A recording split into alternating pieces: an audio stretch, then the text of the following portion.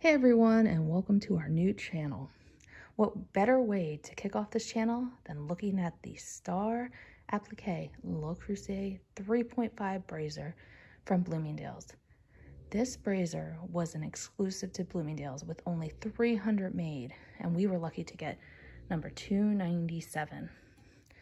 When this braiser came in its box, it came with the tag, a silver knob, and it comes with those large signature handles for easy pickup out of the oven. You can pick it up off the stove, but always use some kind of glove, heat resistant glove, because these do get extremely hot. As you can see, I replaced the silver knob with a gold knob because I felt like it matched the stars a little bit better. The stars are gold. Let's take a closer look at the top of the lid.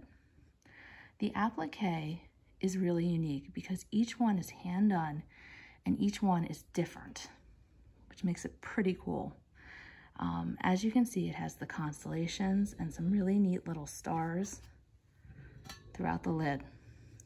It has the signature Le Creuset lid, and it has the signature Le Creuset logo. The bottom of the braiser is also cool because it continues with the stars.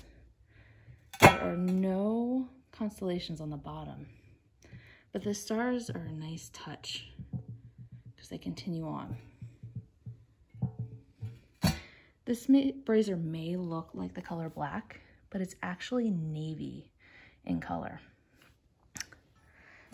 The inside of the braiser is that sand interior that we all love. It's easy cleanup and you can really, really see your food when you sear it. The only thing is you must keep the pan at low to low medium heat on your stove because if you go any higher, it could damage the pan, causing the food to stick and ultimately to scorch the pan. The sand interior is really unique though to Le Creuset because you don't need to season their cast iron, which makes it easy to use for those novice cooks. Okay, let's look at the top again. One more time. And there you go. There it is. The Bloomingdale's exclusive 3.5 Star Applique Cosmos La Creuset Braiser. If you like this video, please subscribe. We'll be doing more Le Creuset reviews, cookware reviews, gadget reviews, anything kitchen we'll be looking at. Have a great day, everyone.